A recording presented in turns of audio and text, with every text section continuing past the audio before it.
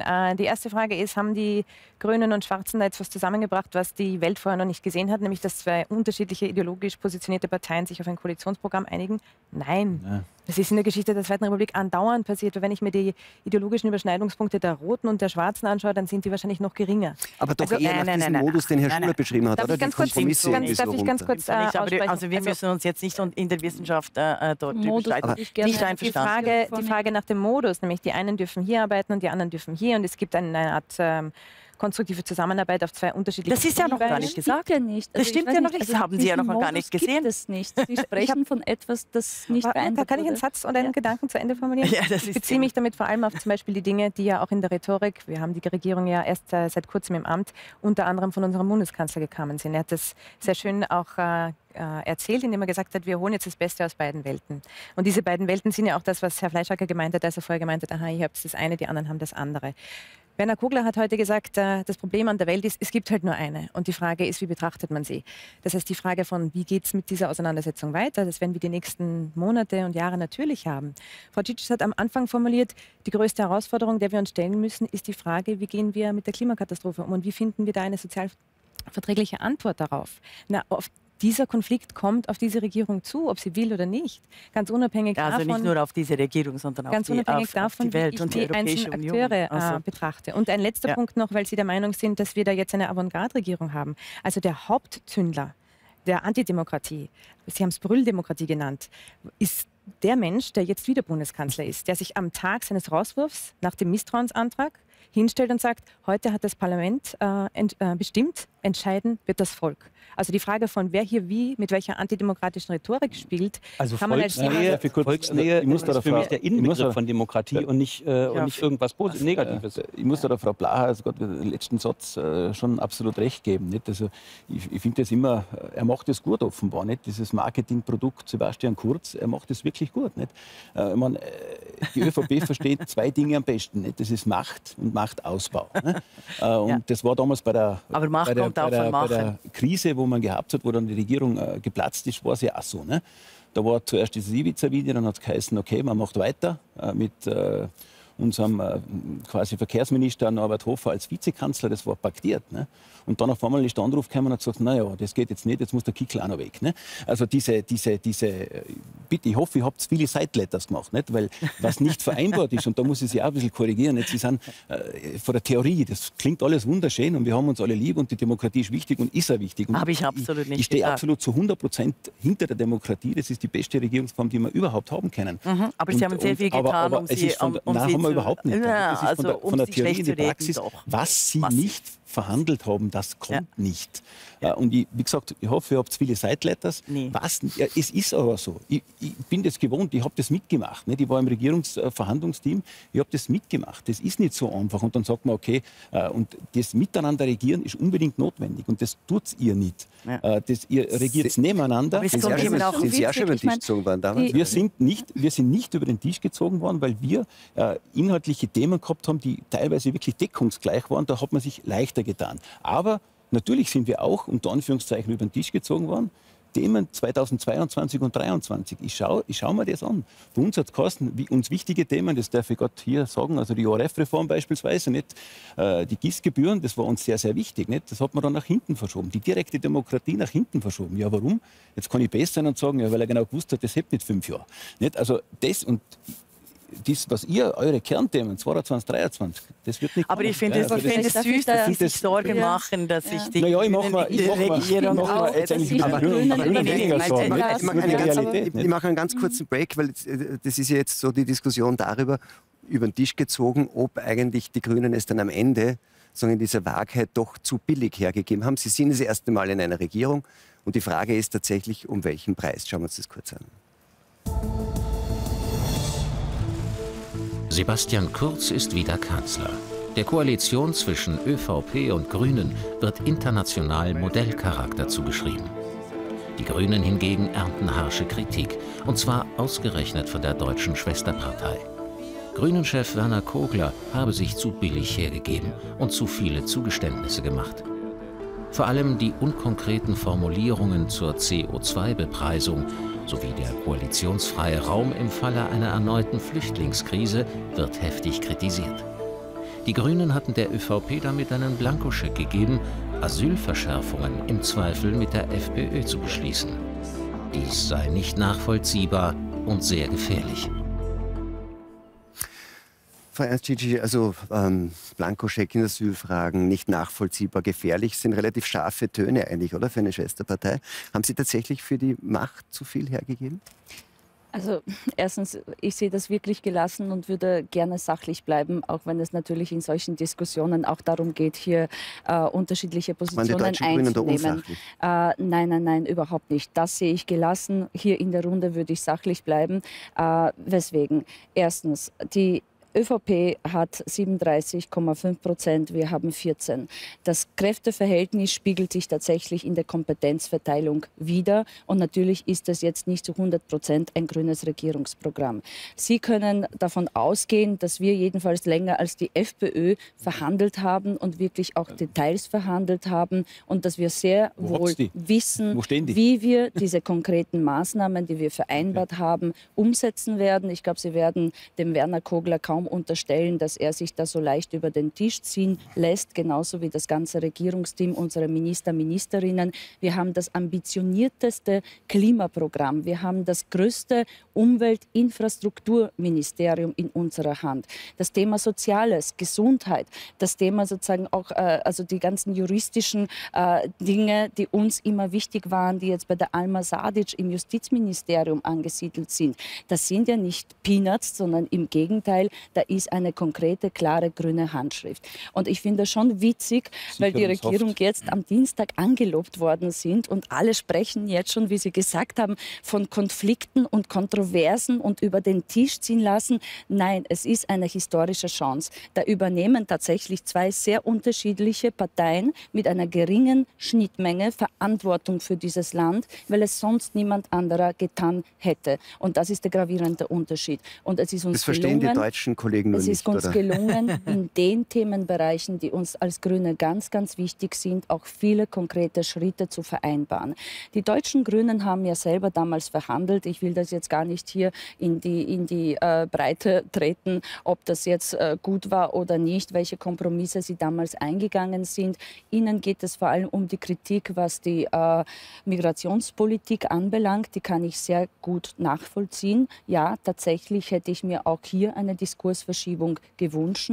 Aber ja, es war uns auch natürlich klar, dass die ÖVP nicht nur mit dem Thema Wahlkampf gemacht hat, sondern dass das Thema der ÖVP besonders wichtig ist. Und deswegen waren wir in der Position zu schauen, wie wir hier eben die Menschenrechte, die Grundrechte garantieren, das Völkerrecht, die, den Multilateralismus, wie wir hier sozusagen eine, eine nicht menschenrechtswidrige Politik, wie sie zum Teil unter Türkis-Blau stattgefunden hat, wieder wiederholen, sondern genau dieser eine Absage erteilen. Wo, und das ist nochmals, da wiederhole ich mich, der gravierende Unterschied. Also das müssen Sie mal erklären. Wir können irgendwelche warten Sie Schlagworte ab, warten in, in Sie ab. Ich glaube, Sie haben das schon gesagt, ja. allein in der Kommunikation. Ja, und da gebe ich Ihnen nicht recht. Wir haben jetzt keinen Modus, wo wir im Ministerrat nebeneinander stehen. Im Gegenteil, das sind gemeinsame Vereinbarungen. Und eine Koalition kann nur funktionieren, wenn man das Ganze gemeinsam angeht was wir vereinbart haben. Aber das wird immer fälschlicherweise so äh, kolportiert, als, als würde das nur der ÖVP zugutekommen,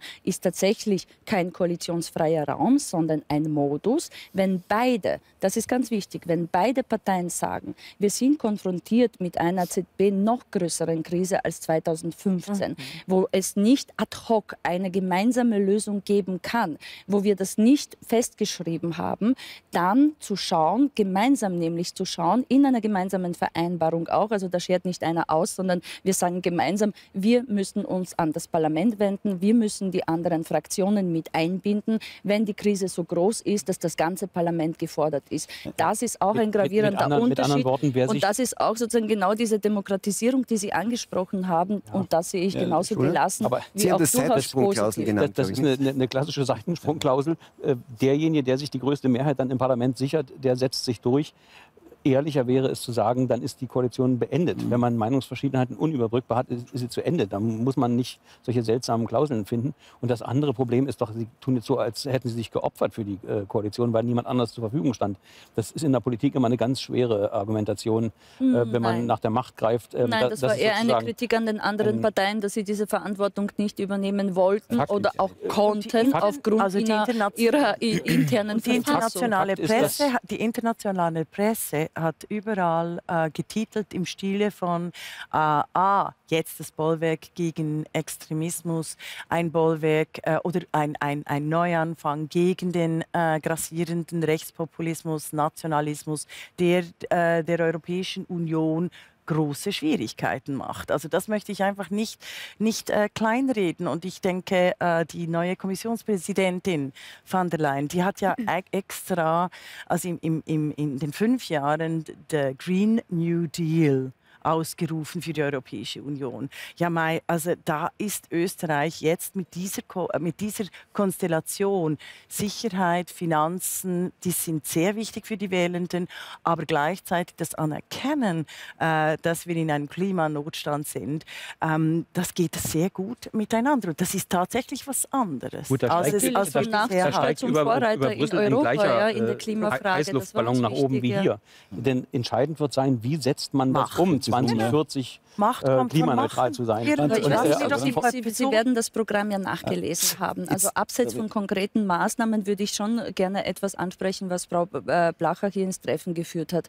Bei der ökosozialen Steuerreform. Wir haben zwei Phasen vereinbart, ganz einfach. In der ersten Phase gibt es ganz viele konkrete Maßnahmen von Ökolog äh, Ökologisierung der Pendlerpauschale bis Entlastung der Niedrigeinkommen und so weiter. Und dann richten wir auch eine Taskforce ein, weil wir uns anschauen wollen, welche Modelle sind adäquat, welche sind die besten für Österreich. Wir können nicht eine ökosoziale äh, Steuerreform vom Zaun brechen, das ist, glaube ich, auch allen klar, sondern wir wollen mit Experten, Expertinnen genau das beraten. Hm. Was ist auch im europäischen Kontext das Klügste? Wie machen es die anderen Länder? Und das, das einfach schrittweise umsetzen. Also da zu sagen, dass da nichts passieren wird, wenn das genauso vereinbart worden ist, das äh, halte ich für Eines der Probleme scheint zu sein, Frau Blader wollte ich Sie nur mal ansprechen, sprechen, dass, dass da ja sagen, Investitionen, ähm, Ausbau an sehr, sehr vielen Stellen, sagen, auch von, von Ressourcen, eine relativ große Zurückhaltung in der Frage, wie das finanziert wird. Ne? Das mhm. findet man in dem Programm ja nicht, eigentlich nicht sehr konkret. Und da sagen beide, also Kurz und Kogler, man wird eben sparsam umgehen und dann geht sich das schon aus. Ist, halten Sie das für zu riskant? Ja, das halte ich vor allem für äh, den Gesetzen der Mathematik nicht unbedingt folgend. Schauen wir es uns kurz an. Es sind drei große Blöcke, die eingeschlagen sind. Das eine ist das Bekenntnis zum Nulldefizit. Das andere ist das, wenn auch vage Bekenntnis zu großen Investitionen im Bereich der Klimapolitik. Das dritte sind große Steuerzucker, nicht zuletzt für Konzerne und Unternehmen. So, und wenn ich jetzt aber gleichzeitig sage, äh, ich will keine neuen Schulden machen, will den Unternehmen jede Menge schenken und by the way auch ganz viel investieren, dann brauche ich nicht unbedingt besonders gut in Mathematik sein, um mir zu überlegen, wie soll sich das ausgehen. Ja, also aber Sie, vergessen, also, Sie ja. vergessen vom grünen Standpunkt her, dass auch diskutiert wird von äh, Macron in Frankreich auf der europäischen Ebene äh, die digitale Steuer, die, äh, die, die, Digitalsteuer. Also die großen GAFA, Google, Amazon, Facebook und Apple, die zu besteuern. Frankreich hat das übrigens schon. Also, sehr verehrte Damen und Herren, da gibt es ganz viele Finanzen, die sind zu holen. Und das wird selbstverständlich nicht nur auf der europäischen äh, Ebene, sondern auch auf der österreichischen Ebene ja. diskutiert. Und deshalb ist es, ist es nicht ein Argument, dass, ah, Sie haben so viel vor und die Grünen werden überhaupt nichts können. Nein, im Gegenteil. Wir müssen wirklich neu und anders zu denken ja, beginnen. Vielleicht lassen wir trotzdem die Frau Blaha ihr Argument zu Ende führen. Ähm, Sie folgen meinem Argument nicht an. Ich sage nicht, dass das Geld nicht da wäre, um klimapolitisch zu investieren. Ganz im Gegenteil. Ich finde gerade ah, okay. ich finde gerade in Zeiten, wo klar ist, dass ich mir um 0 Euro oder sogar ich verdiene Geld daran, wenn ich mir Kredite aufnehme, ja. das Festhalten an dem Nulldefizit absurd ist. Ähm, also es ist nicht so, als würde ich gegen Investitionen sprechen. Ja, ja. Mein Problem ist allerdings, dass wir, ich habe den schwarzen Finanzminister schon angesprochen, die Spielräume im Budget macht zuallererst einmal das Finanzministerium. Und wenn Größe und Volumen einer zum Beispiel ökosozialen Steuerreform vollkommen nicht definiert sind, dann ist die Frage, worauf können sich die Grünen zurückziehen, um dann zu sagen, na Moment einmal, das haben wir aber ausgemacht. Da ist einfach ziemlich wenig da. Und wenn ich mir dann auch noch überlegen muss, dass das Ding ja sozial gerecht sein sollte, wenn ich euren Wahlprogrammen folgen kann, dann ähm, sind da ganz, ganz viele Fragen nicht beantwortet. Und ich glaube eh, dass man mit der ÖVP eine ökologische Steuerreform durchziehen kann. Ich bin mir nur nicht sicher, ob man eine ökosoziale Steuerreform mit der ÖVP durchziehen kann. Das ja, das ist aber natürlich etwas, was wir genau aber in, äh, in diesem Wortlaut verhandelt haben. Ja? Und oh, das ist mal das eine. Das zweite ist, äh, wir haben schon auch sehr viele Menschen, die sich äh, mit Finanzen auskennen und da würde ich wirklich irgendwie das nicht so stehen lassen wollen, dass die Grünen jetzt da total blauäugig in das Ganze reingegangen sind und jetzt darauf hoffen oder eben äh, bangen müssen, ob sich das ausgeht oder nicht. Nulldefizit ist als Zieldefinition drinnen. Es äh, ist abhängig von der Wirtschaftskonjunktur. Aber Investitionen in den Klimaschutz sind dort explizit äh, festgeschrieben. Das heißt, wir kommen natürlich nicht umhin und wir würden uns ja natürlich selber nicht ernst nehmen, wenn wir etwas reinschreiben, aber genau das, womit wir angetreten sind, in einer ersten Regierungsbeteiligung auf Bundesebene dann nicht erfüllen können. Das heißt, natürlich werden die Grünen gerade auf diese Dinge schauen, die ihnen persönlich, ihren Wählern und Wählerinnen wichtig sind. Und das geht sich aus, dass man investiert und genauso aber schaut, dass die Staatsausgaben nicht explodieren. Und bei einer guten Wirtschaftskonjunktur geht sich das aus. Und wenn sich das so nicht ausgeht, dann werden wir auch hier wieder Experten befragen, was uns wichtig war, dass wir Ökologie und Ökonomie zum ersten Mal in Österreich auch zusammendenken. Das ist der springende da Punkt. Entschuldige, da war es schon blauäugig, weil äh, wenn ich konkrete finanzielle Beschaffungsmaßnahmen nicht hineinschreibe, dann wird es dann schwer sein, mit dem schwarzen Finanzminister also dementsprechend zu verhandeln. Es, es,